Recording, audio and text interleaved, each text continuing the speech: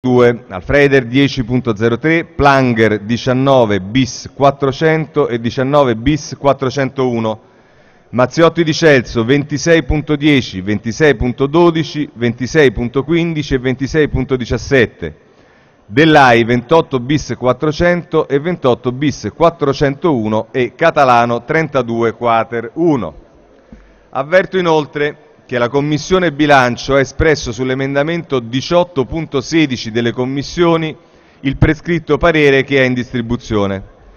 Passiamo quindi all'emendamento Caparini 9.400 a pagina 13 del fascicolo.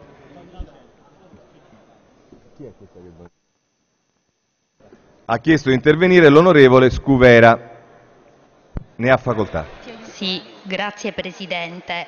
Eh, ma noi eh, riteniamo con eh, questo provvedimento di aver messo in campo delle misure importanti per contrastare le frodi assicurative, peraltro eh, tutelando anche eh, i eh, diritti degli assicurati, anche la privacy, eh, tant'è che nell'articolo 8 abbiamo, eh, come dire, col comma 5 provveduto abbondantemente a eh, tutelare anche i diritti individuali e eh, di dati personali in coordinamento col codice dei dati personali dell'assicurato. Con l'articolo 9 mettiamo in campo ulteriori ulteriori interventi e misure di contrasto delle misure assicurative.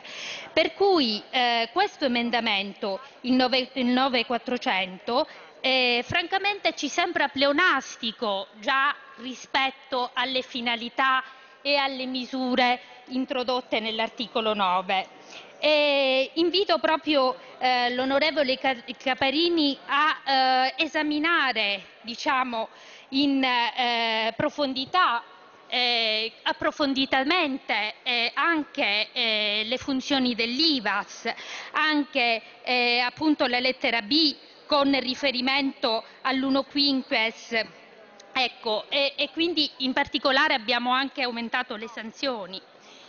Quindi questo ulteriore aumento delle sanzioni a noi francamente sembra anche, come dire, non eh, incentivante